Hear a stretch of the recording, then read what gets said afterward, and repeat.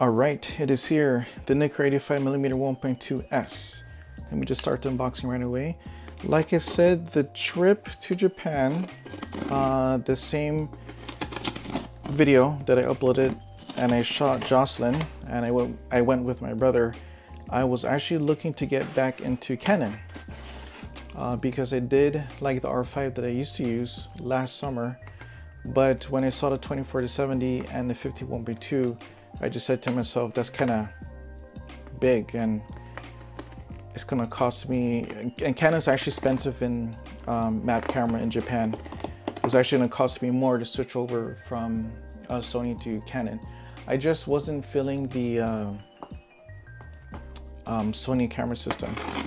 Then I came back to Guam and then uh, I was telling my wife about Super Nintendo World and how it's super awesome, and she actually wanted to go to uh, Japan to go to Super Nintendo World, and I said, sure,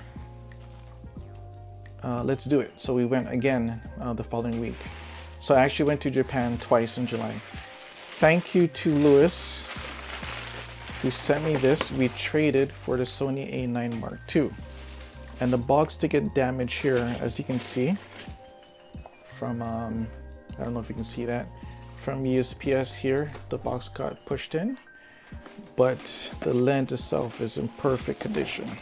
The box itself, super nice. Okay, let me put this away. Here it is. 85 millimeter 1.2S.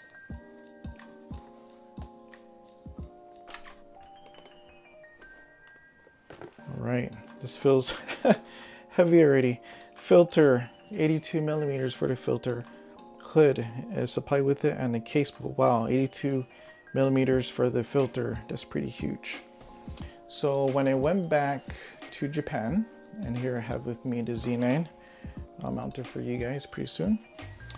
I was actually looking at the used prices for the Z9 and I was super surprised to find out that the Z9 used was going for like $3,300 plus the yen was weak.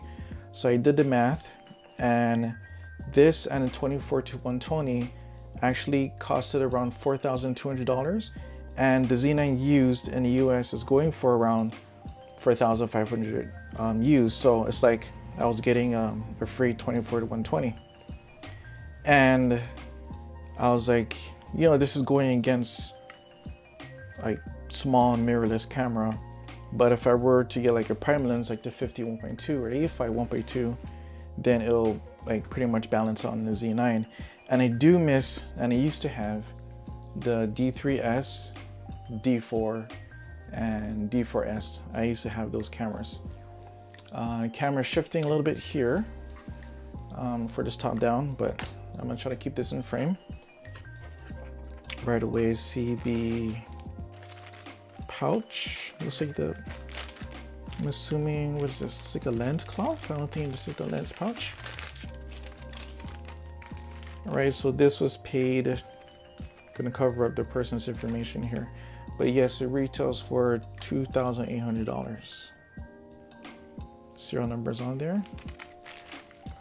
Okay, matches the card. User manual, all on the top. And the lens itself. I did see this in person in Japan.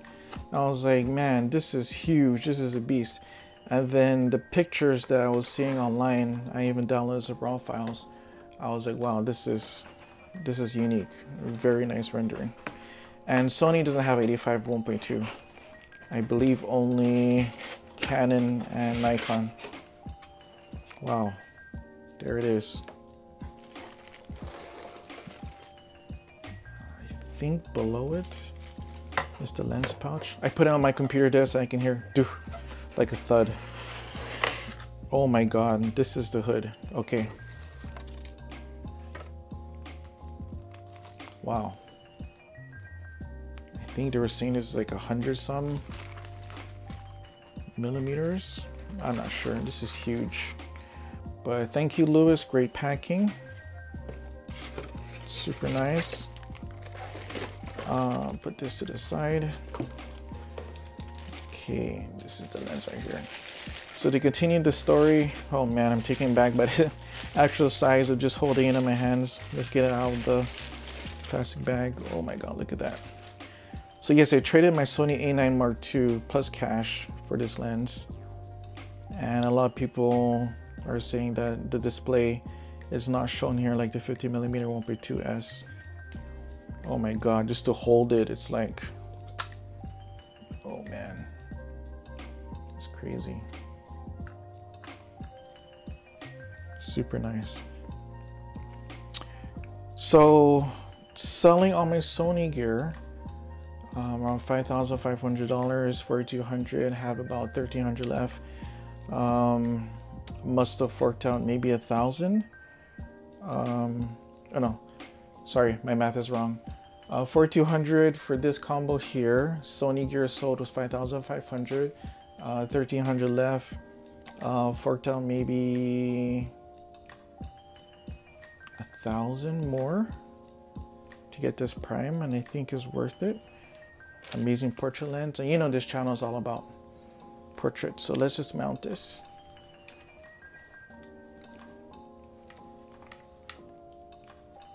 Turn to the right. There we go. Huge.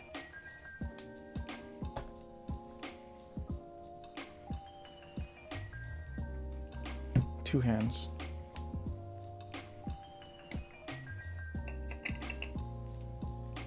Okay. On the Z9. Sorry, camera shifting here.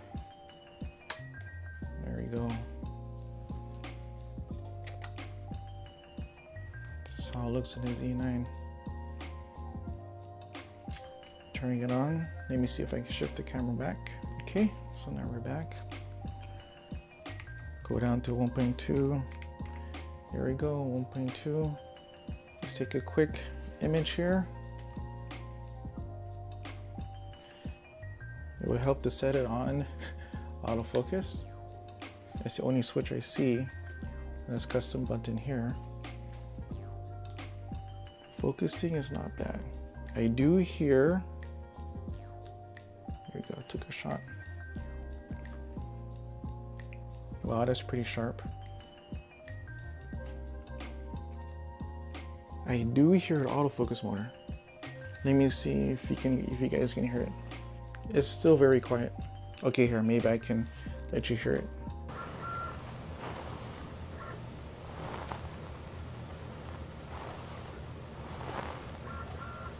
I don't know if you can hear that. But yeah, I, I mean, there's a lot of glass to move in here, huge amount. Another shot. This is crazy sharp at 1.2. Very nice though. I'm gonna get some awesome portraits with this lens. Thank you guys for watching another unboxing. And if you haven't, please subscribe. I'm gonna be doing um, model portrait shoots in the next video. Thank you.